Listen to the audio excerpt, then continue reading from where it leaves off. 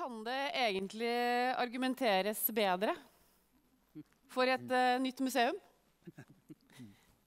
Gjennom å skape et sug og et savn så er det allerede etablert i våre minner og tanker.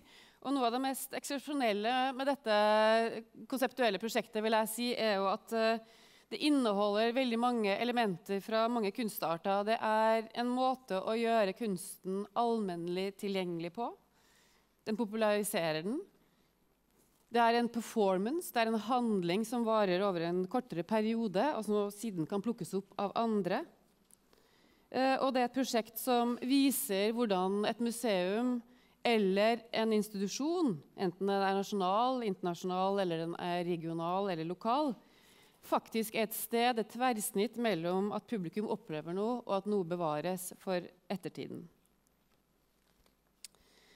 Vi har samla en eh, knippe veldig flott gjeng her i dag som skal diskutere det samiske i den nasjonale fortellingen. Og vi hadde jo masse diskusjoner i, når vi lagde eh, overskriften her, om det skulle hete 'Det samiske og den nasjonale fortellingen', eller om vi skulle knytte dette her sammen i et i, altså i et større vi.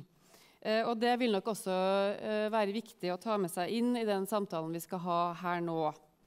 Jeg har tenkt å strukturere det sånn at vi begynner med eh, de to som sitter nærmest meg her, som har med, med museumsarbeid å gjøre. Eh, fordi et, eh, og så skal jeg introdusere hver enkelt etter hvert når vi kommer rundt bordet her. Og så skal vi spare nok tid til dere også. Så har panelet lovt meg å være kort og presis i sine uttaler, så at vi får en samtale her eller en diskusjon, og at det også er plass til publikum etterpå. fordi vi er selvfølgelig helt avhengig av de innspill som kommer også fra salen.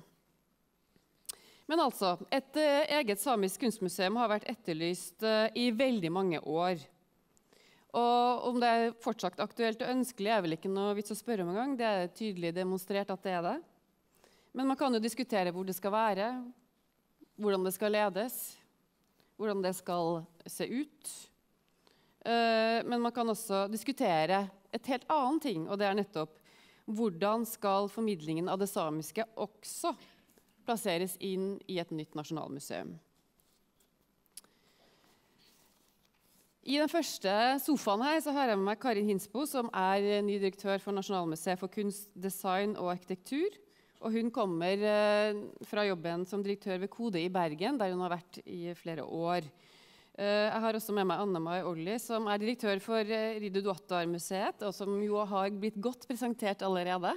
Eh, og som helt sikkert har sine tanker rundt hvordan vi skal gå videre i den prosessen her. Men la oss begynne med deg, Karin Hinsbo. Du har jo egentlig fått en liten bestilling fra kulturministeren i dag fra scenen. Hvordan forholder du deg til det? Altså, hvis der er nogen, som øh, har veldig god kunnskap om armslængdeprincippet, så er det jo vår flotte kulturminister. Så jeg tænker, øh, føringer ligger hun jo så bestemt ikke. Jeg tolker det jo nok mer som et signal på, at Kulturministeriet ønsker å løfte denne her problemstillingen. At ønsker, at vi også i Nationalmuseet sætter mer fokus på det, tænker det mye større Øh, så det synes jeg er kjempeflott at øh, Kulturministeriet tager et så flot initiativ her i dag. Og der sidder nogle rigtig, øh, rigtig gode folk fra Kulturministeriet her på, på Rad. Jeg tror, jeg har alle deres e-postadresser. Så der skal få en søknad. Retskeren der kan sige statsbudget.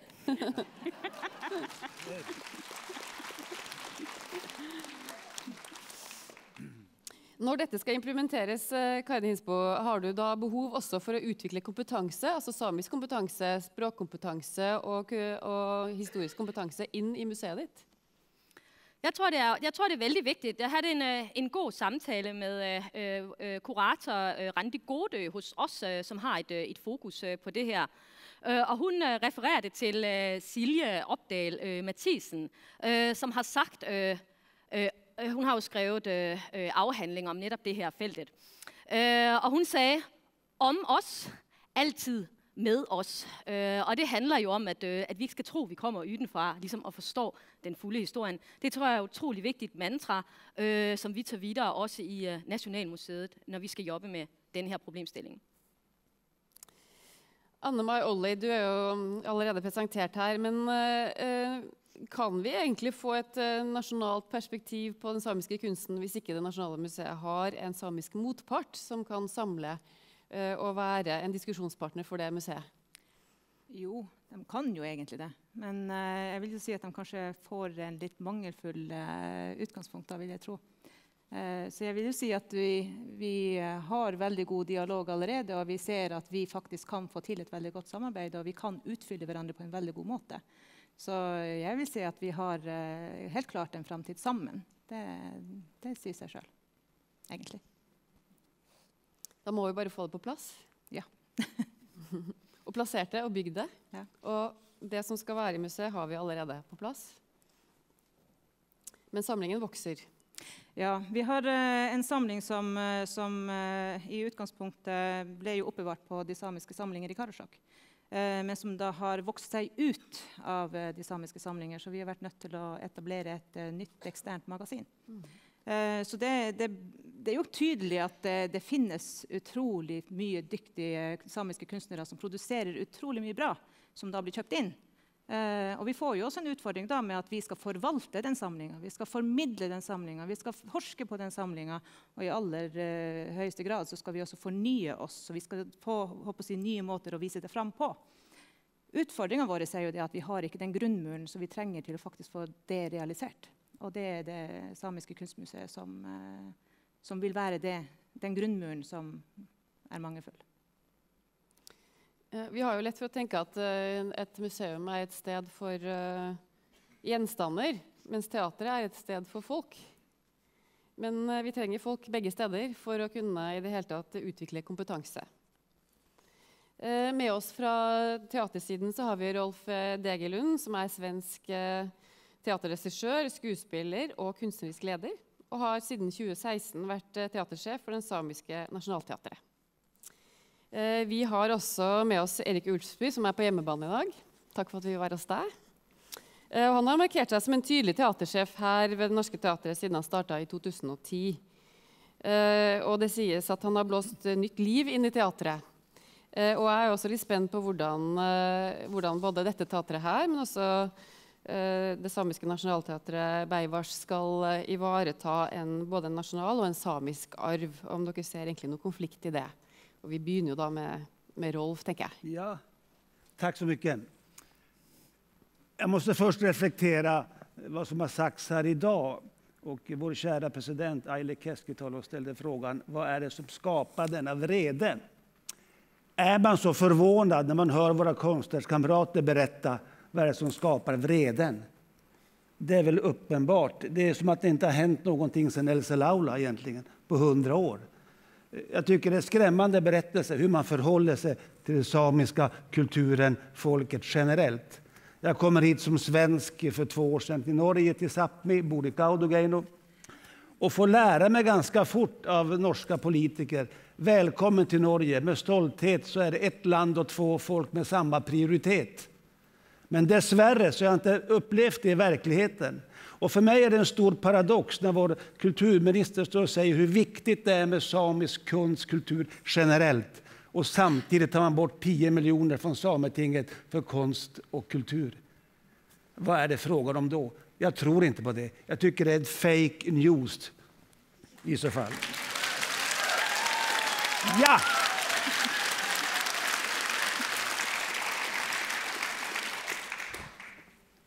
Så. Nej, men det är klart, vi, vi har ett fint politiskt uppdrag, jobbar nära Sametinget. Vi ska spela teater för barn, ungdomar och vuxna på turné Sápmi på det samiska språket. Vi samarbetar med Sydsamiska teatern om eh, produktioner. Vi spelar internationellt, vi samarbetar med andra urfolksteater i världen och vi samarbetar i Norge här i huvudstaden med det norske teatret. Och det är viktigt och det är fantastiskt bra samarbete. Vi har samiskan, de har nynorskan. Varsågod Erik. ja. Erik? Ja, nei, la meg dra parallellene enda litt lenger. Altså, apropos vrede, uh, så er det jo også sånn at dette teatret, dette prosjektet, uh, ble skapt i vrede uh, for over 100 år siden av grupper, eh, store grupper av befolkningen som ikke opplevde at de hadde en relevant arena i hovedstaden. for sitt språk, for sin kultur. Uh, over 100 år senere har prosjektet uh, vokst og blitt stort og sterkt. Men er jo fortsatt på veldig mange nivåer et minoritetsprosjekt. så dette er jo en veldig naturlig arena for ikke bare språklige minoriteter, men for alle minoritetsuttrykk på en eller annen måte. Så Det tar vi på stort alvor og har jo over tid hatt et godt samarbeid med Beivars, som er blitt sterkere og sterkere. Uh, vi inkluderer selvfølgelig også uh, nye, uh, nyankomne minoriteter i, i vårt prosjekt. men akkurat nå er det dette som er i fokus. Og, og, vi opplever jo at vi sammen egentlig også klarer å skaffe et ganske stort publikum til det samiske uttrykket i Oslo. så antall forestillinger har vokst, antall publikummere har vokst. Uh, og sånn som jeg ser det, så kommer den utviklingen til å fortsette. fordi at det er altså, Det norske er så sammensatt, uh, og vi er så mange fra så mange ulike kanter i denne byen at uh, et hus som dette har det er, det, er, helt naturlig at vi er en del av det viktige prosjektet.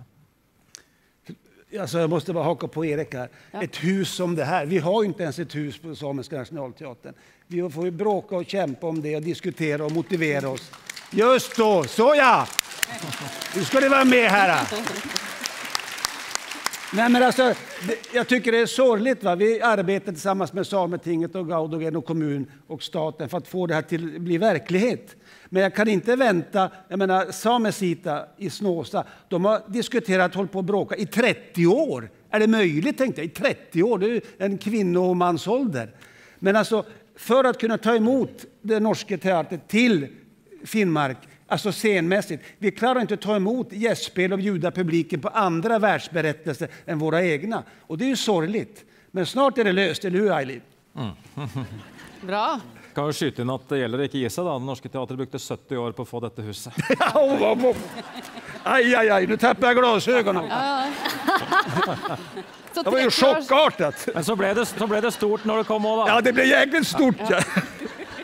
Ja, da venter vi 70 år. her. for vi har 40 år igjen med kampen, ja, ja. dessverre. Ja, ja. Nei, men det er viktig. Altså, for hur skal man forholde seg til Om vi skal utvikle samisk scenkonst og få en møteplass i Sápmi så er det Kautokeino när vi skal bygge et teaterhus.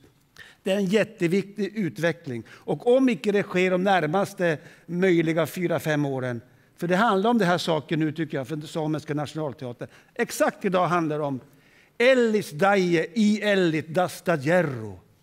To be or not to be, that is the question. Mm. Det er det det handler om. Punktum.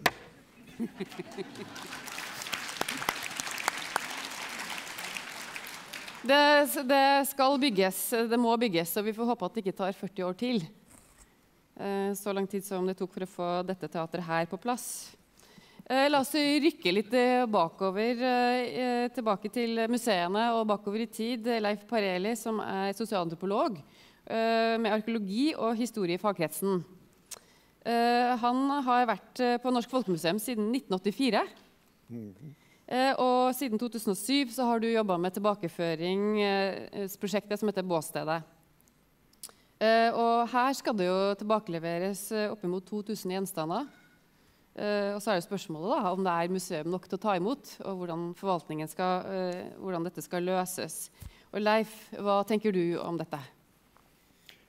Vel, Formålet med dette prosjektet er jo at eh, det samiske folk på denne måten skal få eh, eh, herredømme over sin egen kulturarv på en annen måte enn før. Det er jo slik at Disse store samlingene på de nasjonale museene, Norsk Folkemuseum og Kulturhistorisk museum, ble innsamla i en tid da det samiske folk sjøl hadde små eller ingen muligheter til å ivareta sin kulturarv. Så det er jo et veldig godt historisk fremskritt at situasjonen nå er kommet sånn at det er mulig å gjennomføre et sånt prosjekt. Fra mitt synspunkt så er også dette prosjektet ment som et ledd i den forsoningsprosessen må vi si, som har foregått mellom det samiske folk og den norske stat siden Alta-konfliktens tider. Og så er det jo meninga at 2000 gjenstander skal overføres, og så skal 2000 gjenstander bli igjen på Norsk Folkemuseum.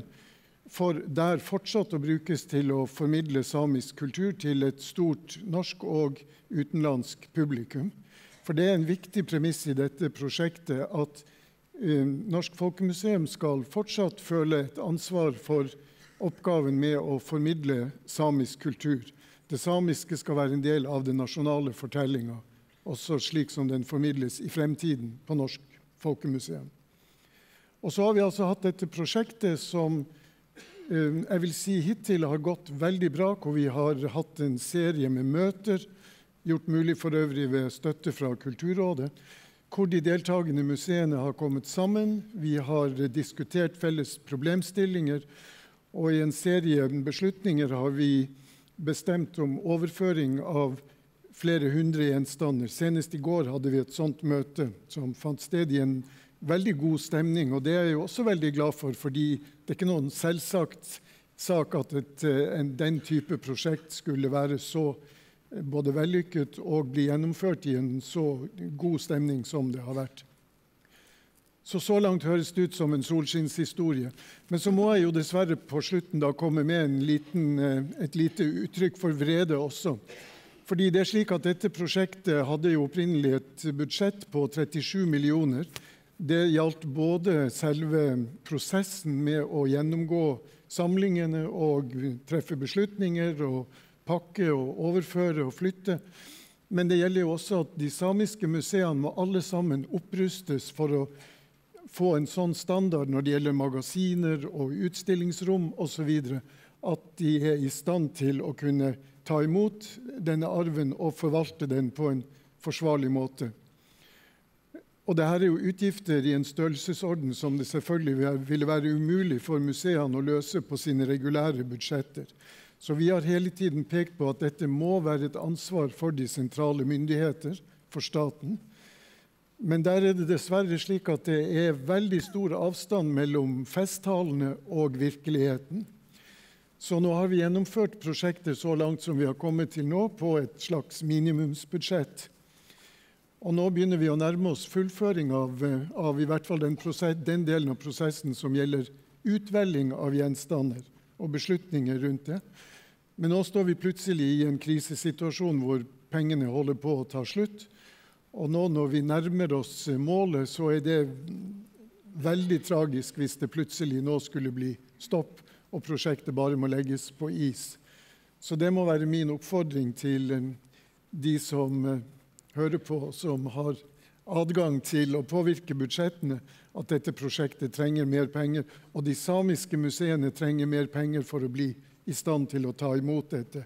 Jeg vil spesielt nevne Samin Site, det sørsamiske museet, som ikke har en egen bygning engang, og som har et veldig viktig prosjekt for å komme i gang med å få en bygning hvor de vil være i stand til å bl.a. ivareta disse eh, samlingene.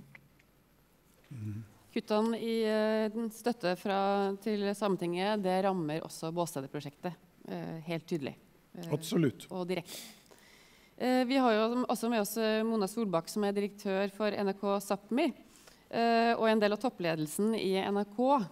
Eh, og dere har jo et todelt oppdrag lage innholdstilbud til den samiske befolkningen, men også eh, bidra til kunnskap og informasjon om det samiske samfunnet til den øvrige befolkningen. Og hvordan forholder du deg til det oppdraget? For oss i NRK Sápmi og NRK så er det utrolig viktig at det ikke er NRK Sápmi som alene har ansvaret for det samiske oppdraget. For eh, vi vet at eh, vi er nødt til å nå ut med de samiske fortellingene til den nasjonale befolkninga. For vi er en minoritet, så vi er avhengig av at du og alle i salen her forstår og kjenner til samisk kultur. Derfor har vi jobba veldig strategisk med å få den samme forståelsen i hele NRK. At vi i NRK Sápmi er ikke alene om det her. NRK er fundamentet til NRK er at man skal styrke norsk og samisk språk, kultur og identitet. Og Derfor ser vi det som skjer nå. Eh, Dakota Access Pipeline-saken i går. Eh, NRK Sápmi har gravd frem 7 milliarder har DNB i eh, lån til de bedriftene som faktisk eh, eh jobber med pipeline. Dette hadde vi ikke klart hvis vi ikke var en del av NRK. Vi har hatt uh, beste eh, joik som underholdning i beste sendetid i NRK. Vi har lært nordmenn å joike. Ja, vi kan diskutere hvor, hvor, hvor, bra det gikk. Men det aller viktigste Ja, kanskje var ikke Vi kan diskutere prestasjonen. Men det satt én million nordmenn på Stjernekamp 21.10. i beste sendetid og vurderte joik. De satt og lytta. Joiker Ida Marie, Maria. Joiker Didrik. Joiker Adam. Og da har vi nådd. Og nå skal ikke NRK Sápmi ta æra for Stjernekamp. Ja, vi har jobba for at de skal gjøre det. Men det er fordi at vi er en del av NRK, og vi har jobba iherdig for å få det til. Og så har vi samisk talkshow, som er i Sverige, sendes i Sverige og Norge. Som er på nasjonalt nivå. Det er utrolig viktig for oss at vi når frem med de, med de nasjonale fortellingene. Men det, det, her har vi fått til fordi at hele NRK tar ansvaret. For det. Nå passer det å si det jeg har på hjertet. Hva sier du? Nå passer det å si det jeg har på hjertet. Veldig bra. Da overlater vi det til deg. Ja, for, Nå har vi jo snakka om eh, det samiske teatret. Vi har snakka om Bostede. Vi snakker om det med å bruke samisk språk. Uh, og jeg vil jo si at i mange mange sammenhenger når vi snakker om samiske saker, så blir vi satt opp mot hverandre. Man må velge. Skal vi få et samisk kunstmuseum, eller skal vi få, uh, få et teater? Eller skal vi få gjenstandene tilbake til de samiske museene? Hvorfor? Hvorfor må vi gjøre valg? Hvorfor kan ikke vi få lov til å faktisk utvikle oss på like premisser og likeverd som alle andre. Jeg vet ikke om dere ja, måtte vurdere så er det. Så, så er det. Mitt spørsmål yes. er jo Nasjonalmuseet var vel ikke si, på bekostning av Munchmuseet? Jeg vet at begge, begge, realiseres. Hvorfor kan ikke vi få faktisk teatret og Sameinstituttet og et samisk kunstmuseum og få våre kulturer tilbake? Det er mitt spørsmål. Hvorfor? Mm. Mm. Nej, men man ställs mot varandra, det är som härska genom att söndra. Ja. Det är en gammal klassisk metod i historien. Mm. Jag tycker det är helt riktigt du säger. Varför ska vi utredas i 30 år? När det byggs byggkranar över hela Norge. Jag var i Bergen här veckan. Det är så mycket byggkranar i Bergen bygger stora hus. Jag menar, vad är problemet? Ja, det är ekonom... Ja, hallå. Ja, men alltså, det är ju larvigt att höra säga det. Va? När man står och drar bort 10 miljoner. Vi ska, inte ska inte vi ha en god arbetsplats? Ni en god arbetsplats? Ska inte museerna med ha goda arbetsplatser? Jag lovar det, skulle de här byggnaderna vara här i Norge, inte en norsk kvinna eller man skulle gå till jobbet på dagen. Här kan vi inte vara, vad är lukta här då? Skulle stängas. Men vi ska arbeta och vi gör god konst generellt. Vi har fantastiska konstnärer och konstnärinnor. Fantastiska. Men nu får det vara nog. Låt oss få drägliga arbetsförhållanden. Mm. Ja, men det er sånn sett ja. Ja, Det er vel et viktig poeng å um, lage en kampanje sammen og stå sammen og heller ikke la seg splitte eh, inn mot nei, nei. budsjettforhandlinger. Eh, hvor går da veien videre for å lykkes? Det er det egentlig kanskje flere i salen her som kunne ha svart på hvis de har lyst. Mm. Eh, vi er i hvert fall der at eh, det er på tide å åpne salen for spørsmål. Hvis ikke dere har et spørsmål til hverandre her, så har vi ett minutt til det. Nej, alltså det, hur man går videre i, i, i teaterns fall och i, i Samhällsitans fall och i Samiska museet. Det är inte så Einstein egentligen, hur man går videre. Man måste få hjelp og respektera at de samiske konstnärerna og konstinstitutionerna måste ha samme förutsättningar som övriga Norge. För man, och hur får man då det? Jo, det är ett politiskt arbete, men ska det ta 30 år? Alltså, jag vet inget annat sätt. Vad säger ni? Nu är vi så glada för att teatern var nämnd i statsbudgeten, fast vi fick ju inga pengar. Men vi var nämnda i statsbudgeten. Oh. Fan, vi nämnde ju kanonbra, tänkte vi. Nämnd. Nej, men på den lilla nivån är det, va? hur man för, förhåller sig mot, mot samiska kulturen och samhället. Jag tycker det är sorgligt. Jag tror det är 2017, det är inte 1836. Utan det känns som att det finns ett... Mm, mm, mm. Ja, vilket Ja. Jeg tror vi åpner for eh, spørsmål fra salen. Vi har eh, to kulturrådsfolk her som skal eh, løpe rundt med, med mikrofoner. Eh, vi ber om at de som tar ordet, eh, forteller eh, hvem dere er. Siden vi strømmer dette her, så er det bra for alle å få høre hvem dere er. Nå sitter vi i motlys, så dere får bare reise dere opp etter hvert som dere får mikrofonen. Jeg vet at det her er liksom dødens time, timen etter lunsj. Kan jeg si, kan jeg si noe i, kan si i mellemtiden? Ja. Um, jeg tenker litt i forhold til denne her diskusjonen her. Øh, hvad kan vi gøre? Hva hvad kan vi øh, institutionerne gøre? Det er vel øh, et, relevant spørgsmål der. Øh, Jeg tænker øh, for, vores del, for, for Nationalmuseet sin side, altså vi har jo egentlig øh, en, en nok så stor samling af samisk kunst. Vi kan øh, udvide den øh, mere, også især også i øh, genre og, nyt, nutiden. Og vi har også startet øh, denne her kartlægning og har været øh, på besøg hos øh. Øh, så, det, så det tror jeg er vigtigt fokus. Øh, men jeg tror faktisk også, det er vigtigt, at vi, øh, og vi har haft nogle diskussioner om det nylig, som har været øh, engagerede, så øh, det er jo veldig bra. Øh, som også handler om fremstillingen Altså fremstillingen af samisk kultur. Mm. Altså fordi der har været jobbet vældig mye med sproget, ikke sandt? Altså der har jo været de her øh, nok så problematiske øh, beskrivelser. Øh, men der ligger jo faktisk også en historie i kunsten, øh, i fremstillingsformen, i repræsentationen øh, af samisk kultur, som jeg også tror er vigtig, og som vi også har startet øh, blandt andet øh, hos os øh, i Nationalmuseet. Så jeg tror, det er vigtigt, at vi er oppe og at vi tænker øh, præsentation, øh, og vi også tænker repræsentation i øh, alle former for sprog. Hvis jeg kan følge opp litt med, Ja. med med, jeg, hva vi kan gjøre framover.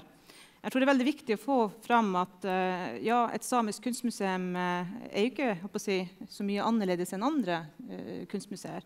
Men muligheten til å kunne bygge opp utstillinger, forskning på vårt eget materiale, formidlingen av vårt, vårt eget materiale på bakgrunn av og med vår kultur og våre tradisjoner. Akkurat sånn som dere bruker deres kultur og tradisjoner, og jeg, andre land og kulturer bruker sitt. Så hvorfor i all verden skal vi stille spørsmålstegn ved at vi skal bygge opp noe som er vårt? Og det er det jeg syns er så, så veldig tragisk i, i hele der kunstmuseumssaken og det teateret og, og Bostedet. Og Samien Sita er et veldig godt eksempel. For hvorfor er det eh, slik at det blir stilt, stilt spørsmål? Eh, og hvorfor skal vi på en måte ha museet i Karasjok? Eh, hvorfor ikke plassere det i Tromsø? Hvorfor ikke plassere det i Oslo? Men faktisk, man trenger et samisk eh, miljø, et samisk hjerte og en samisk adresse, for å si det sånn. For vi skal ikke bare bygge opp institusjonene. Vi skal bygge opp framtida vår, ungdommen vår. De må se at det finnes arbeidsplasser som er basert og bygd på vår egen kultur og tradisjon. Og det er det som er poenget med å ha samiske institusjoner i dag. Det var, det var, jeg skal bare en liten kort her. Det var, det var en som frågade mig varför ska ett teaterhus byggas i Kautokeino? Det bor ju så lite folk där eh, från politiskt håll. Ja. Man skulle bygga det där det bor flest samer. Nei, Nej, det ska byggas i en samisk kommun. Det vore lika dumt som att flytta Nationalteatern i Oslo till Stockholm, till ett annat land som pratar ett annat språk. Så korker det, tycker jag. Det är klart det ska byggas i Kautokeino. Det är viktigt för det unga Sápmi att vi får utvecklas där. Kan jeg si en ting òg? Vær så god, Uh, Erik. ja. Vi tar, eh, tar den først, og så tar vi salen etterpå. Jeg tror jeg misforsto klokka litt her. eh, faktisk. Jeg beklager det, men eh, den klokka på skjermen viste ti minutter, men det var tydeligvis ti minutter igjen til oss, og så var det ti minutter til publikum. Hvis jeg forstår den rett, for nå er den på 16 minutter. men som sagt, det er rett etter lunsj. Men Erik, også tar Nei, ja, det var bare snakk om interessen, altså øke interessen for, for den samiske kulturen, de samiske, samiske uttrykksformene i hele landet. Og da tenker jeg også at altså For oss som er store institusjoner, som samarbeider med mindre institusjoner, så er det også noe med at det må være en reell eh, utveksling og toveisgreie. At det ikke bare er stor, sterk institusjon i hovedstaden er grei å åpne dørene for en institusjon som er mindre og kommer utenfra, men også at vi faktisk reiser opp der og viser interesse med våre forestillinger der oppe. Og det gjorde vi nå nylig Ja. snakket vi om at vi skal gjøre mer av. Ja. Det skapte jo bare en enorm det var en enorm opptur for våre folk å komme opp og på en måte oppleve påskefestivalen i Kautokeino. Ja. Og kommer tilbake med masse, eh, masse entusiasme og nye inntrykk. Og gjøre mer av en sånn reell utveksling, ikke bare åpne dørene for de som kommer hit, tror jeg også er eh, vesentlig. Viktigt. Det er vel helt avgjørende for å kunne ha et reelt samarbeid på lik Ja, ja. linje og kunne besøke hverandre i hverandres hus, eh, enten det er teater eller det er, eh, eller det er gjenstander. Jeg syns det er ganske interessant dette her altså med at uh, man må bygge kompetanse. Uh, og at det skrives historie, og at det dokumenteres. For hvis ikke så har vi veldig lite igjen. Men da var det salen. Takk. Jeg heter Siri Broch Johansen. Jeg er forfatter, dramatiker, sanger. Var? Var sitter du? Oversetter og um, Ja. Jeg har en master i teater, da. Ja. Um, det jeg hører altså jeg vil, det, er mye, jeg, det er så mye at jeg nesten bobler over her, men det jeg vil ta tak i, det var det du, Tone Hansen, sa som et svar på Anne Mai Olli sitt veldig godt poengterte innlegg. Men hvorfor skal ikke vi få både det og det og det og det? Og du sa ja, men da må dere jo i hvert fall stå sammen, da. Det, det er et poeng at det er alltid andre krav til det samiske enn til det norske. Og hvis jeg f.eks. Eh, jeg har stor tiltro til Det Norske Teatret. Jeg virkelig elsker Det Norske Teatret. Hvis jeg kommer til Erik Ulsby med et manus som foregår både på samisk og norsk, så er sikkert noe av det første han sier, ja, men hvordan skal publikum forstå det her? Eh, samtidig hadde vi en mann som med selvfølgelighet nettopp sto og snakka engelsk på talerstolen. Altså, det er noe av eh, greia. Vi er alltid et sånn bitte lite mikroskopisk mindretall, sånn at vi skal alltid på en måte forklare, forsvare, altså ha strategier. Og når du sa til Anne Mai Olli og Rolf Degelund og sånn at nå må dere jobbe, da må dere jo jobbe sammen, så tenker jeg at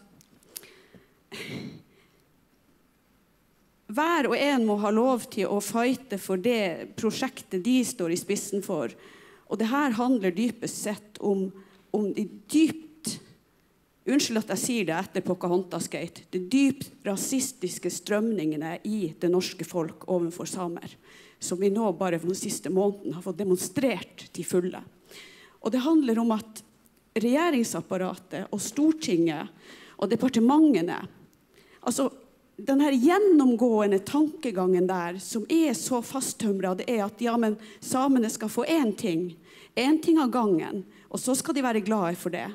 Og så må dere, så er det dyttet over på samene og si at ja, men nå må dere prioritere. Må dere være voksne og prioritere her. Men hva får de norske institusjonene? Hvor mange er det av dem? Hvilke museer er det i hver eneste liten bygd, et hver eneste lite ness borti ennå? Altså, jeg kjenner at jeg blir sånn Ja, nei, nå er det F nok, ass.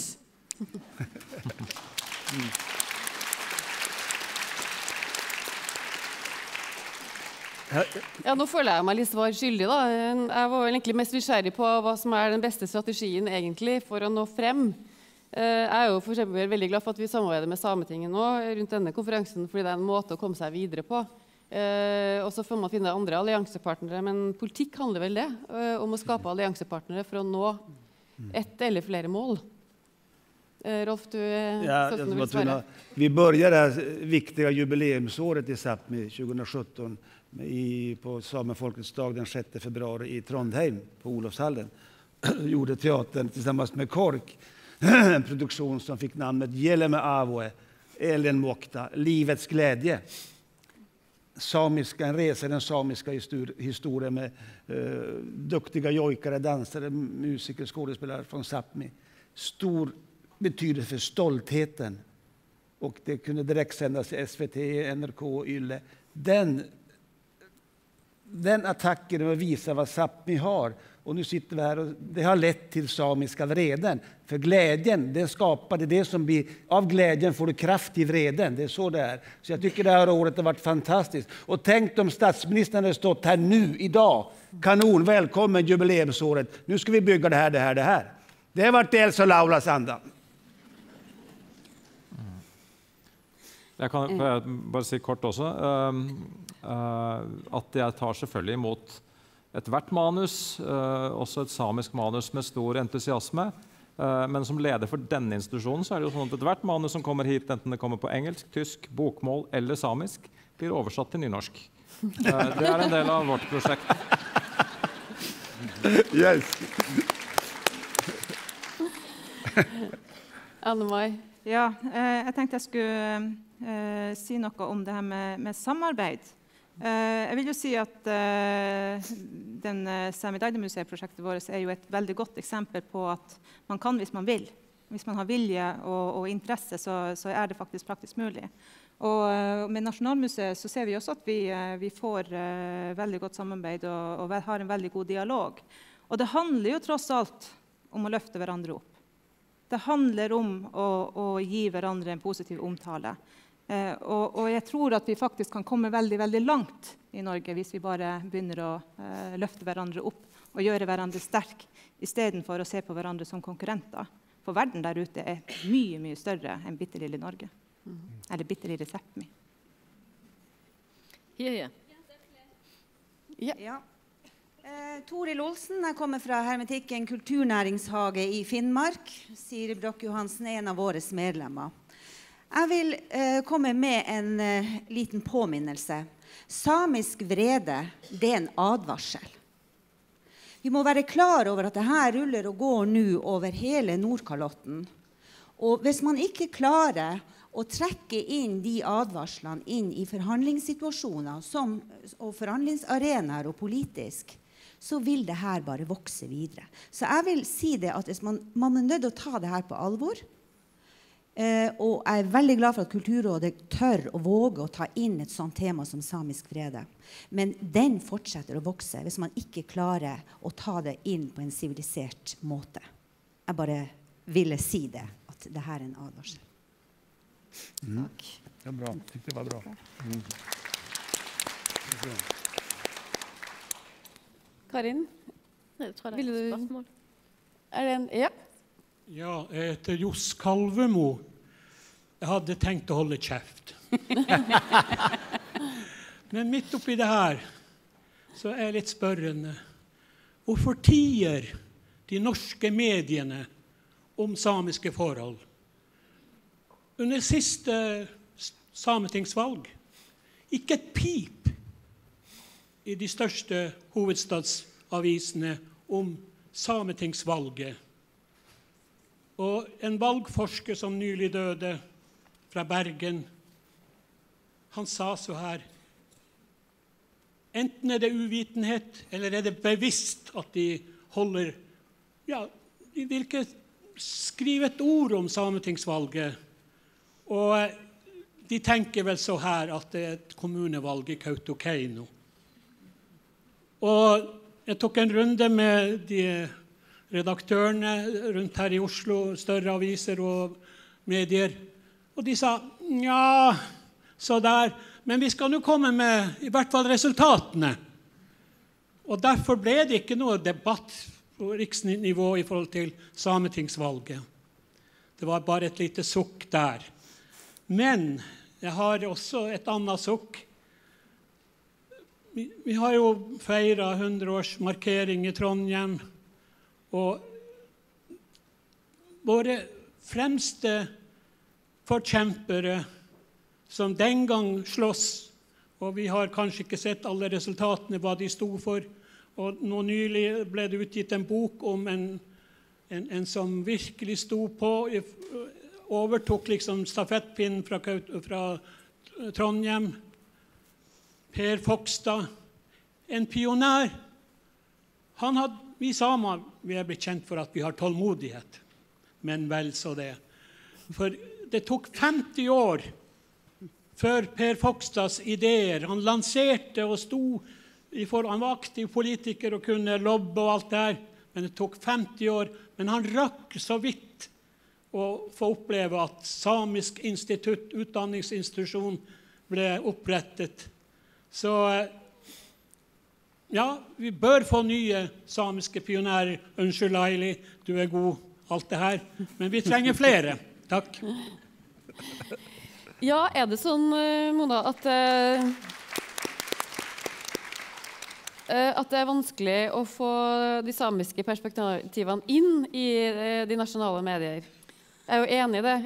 At, jeg tror veldig mange tror at, at sametingsvalget er et lokalvalg. Det er nok eh, dessverre ennå sånn. Selv om vi jobber iherdig, og selv om vi har enkeltresultater, som jeg snakka om i sted, så er det fremdeles vanskelig å nå igjennom lydmuren. Eh, men det betyr jo ikke at vi, vi, skal slutte, eller at vi ikke skal satse på enda mer eh, opplysning og enda flere saker. Men der må vi jo ta et, et, et ansvar, medieverden, eh, Medie-Norge. Det er ikke enkelt, eh, enkeltinstitusjoners eller avisers ansvar. Der har vi et ansvar, alle, alle og enhver. NRK Sápmi, NRK, Aftenposten, VG osv. Det er klart. Men så ser vi jo at det, det begynner å bli interesse. Eh, så hvis vi er litt flinkere til å forklare og eh, Anne-Mai og eh, Jeremy sitt prosjekt har jo virkelig vist at det har vært stor interesse. De har jobba veldig godt med kommunikasjon og få det frem. Og det, det gir resultater. Mm. Er det en til fra salen? Ja. Ja, hei. Jeg heter Rautna Karita Eira. Jeg jobber på det samiske nasjonalteatret Beivars.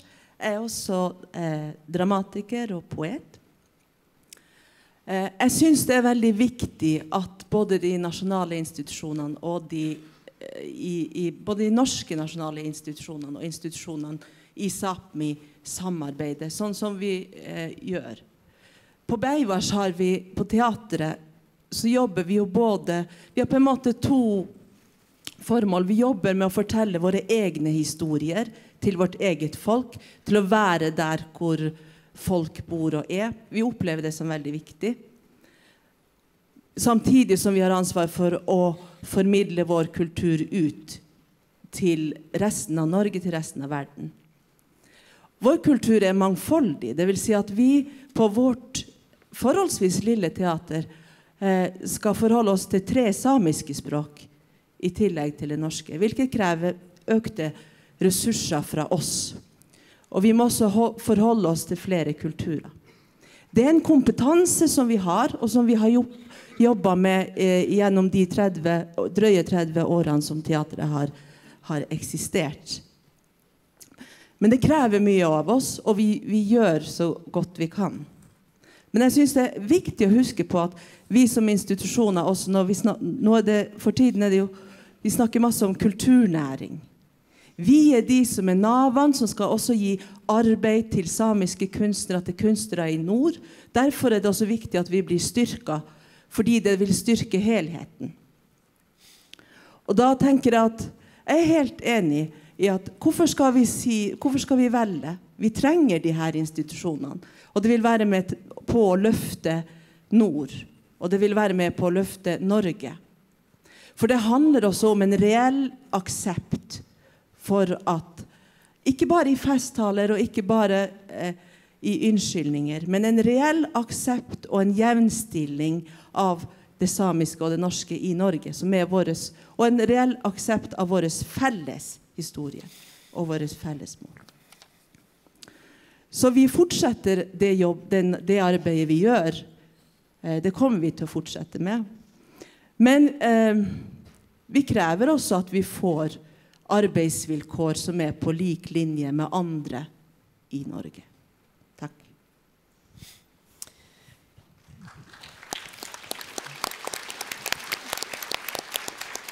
Et viktig poeng her er jo selvfølgelig at alle institusjonene som dere representerer, eh, også legger grunnlaget for at det skal kunne finnes kunstnere i Norge, at de skal leve bra i hele landet. Uh, og En alliansepartner selvfølgelig for alle institusjoner er jo faktisk de kunstnerne som skaper kunst rundt omkring overalt. Men uh, Karin, helt til slutt, tror du kan Nasjonalmuseet være en alliansepartner med et nytt samisk museum? Vi har jo allerede startet opp et, et, et samarbeid. Så vi er veldig åpne for å løfte det på alle tenkelige måter. Takk skal du ha. Da er vi Vi har 57 sekunder igjen. Leif?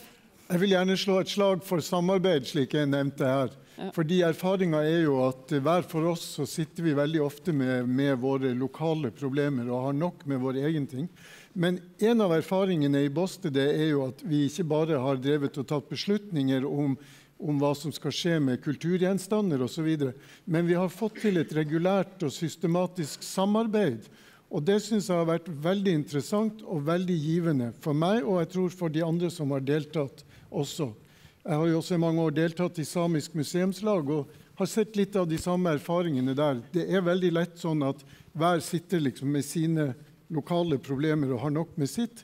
Men samtidig har vi veldig godt av å komme sammen og å utveksle eh, synspunkter, diskutere ting og kanskje stå sammen om initiativer og tiltak. Så det er en av de positive erfaringene av Båstedet-prosjektet. Jeg syns jeg hører eh, en, et, følelse, jeg sitter med en følelse av at eh, det vil være interesse og behov for at det er flere alliansepartnere på tvers. Uh, og at det er bare den veien vi kan gå for å klare å bygge de institusjonene vi trenger. Yes. Yes. Da har vi en jobb å gjøre. Ja. takk til panelet. Uh, takk til publikum. Gito.